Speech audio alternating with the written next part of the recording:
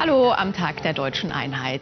Die beiden Damen, die wir Ihnen jetzt vorstellen, sind sowas von einer Einheit, da passt kein Blatt dazwischen. Und sie sind wohl Deutschlands skurrilstes Pärchen. Sabine und Ute Stimmer aus Gelsenkirchen.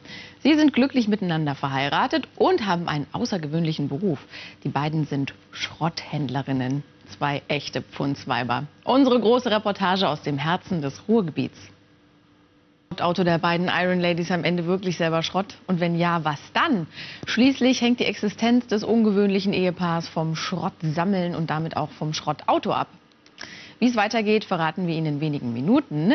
Jetzt geht es erstmal um eine ganze Stange Geld für Sie. 1000 Euro im Superzoom. Und der sieht heute so aus.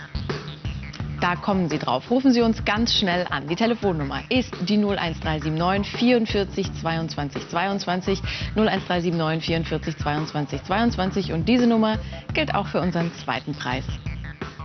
Und da sind wir wieder am Feiertag mit unseren beiden Schrottladies Ute und Sabine Stimmer aus dem Ruhrgebiet. Und der Frage, ist das Schrottauto der beiden Damen etwa wirklich reif für die Presse? Ihre ganze Existenz hängt davon ab. Jetzt weiter mit den Sat1 Nachrichten und Katja Losch. Ihnen ein ganz schönes Wochenende und einen tollen Abend. Machen Sie es gut. Wir sehen uns nächsten Montag wieder. Morgen gibt es auch ein Sat1 Magazin. Dann mit meiner Kollegin Gabi Papenburg. Bis dann.